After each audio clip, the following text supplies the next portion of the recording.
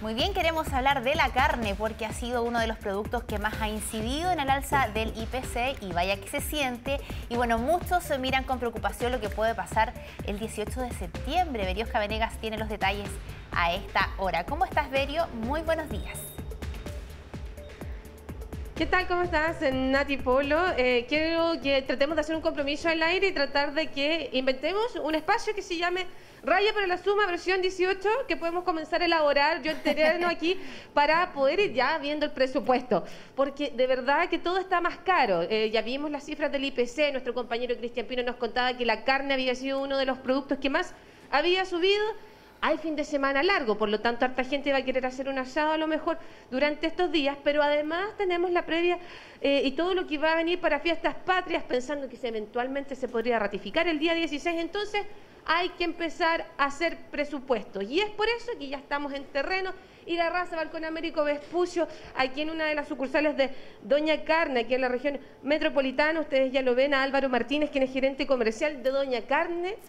Lo saludé, le pregunté cómo está y le dije, sincerémonos, ¿va a subir o se mantienen los precios de agosto hasta septiembre?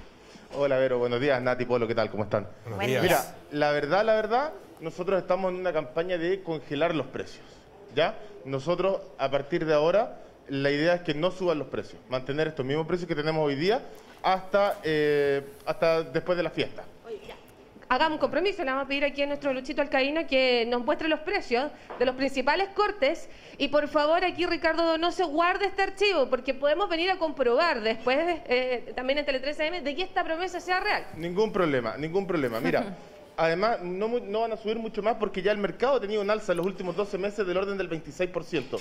Estamos afectados principalmente por el tipo de cambio. Estamos hablando de que el tipo de cambio, nosotros el 70% de la carne que comercializamos, estamos hablando de que es eh, importada y que el año pasado la comprábamos a 780 pesos el dólar y hoy día la estamos comprando a 900.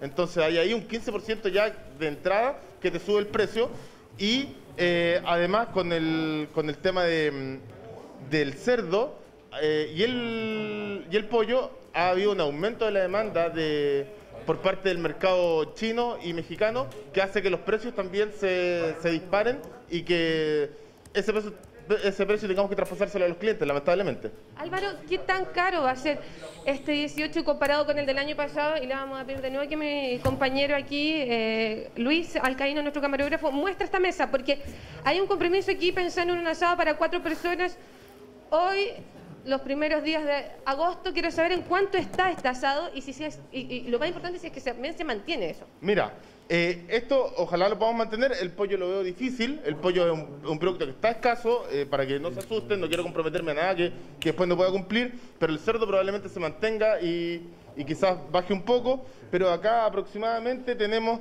mira, el abastero 8004, hay una palanca ahí, hay unos bifes de chorizo más el, eh, el costillario astuto, asado contundente. Aquí pueden comer 6, 8 personas fácilmente. Y esto no debiera estar saliendo más de 25 eh, mil pesos más o menos. 25 mil pesos en promedio al día de hoy. A lo mejor hay gente que se está tentando y empieza a pensar ya en fiestas patrias ¿Puedo congelar la comida o no se puede congelar? Es una súper buena idea. Yo creo que no solamente por los precios, porque ya te dije, los precios esperamos que no, que no varíen, no, debieran subir más, y no solamente nosotros, sino que el mercado. Pero eh, congelar los precios por un tema de, disponibilidad de tiempo, eh, compren antes, adelanten su compra, congelen, la carne congelada puede durarte hasta un año y te ahorras los tacos que vas a tener de gente comprando en las fiestas. Yo le quiero agradecer a Álvaro los detalles. Yo desde ya me comprometo a hacer esta versión de Raya para la Suma, versión 18. Vamos a seguir cotizando en la calle para ayudar en estos momentos donde el dinero está un poco escaso, Natalia Polo. Tal cual.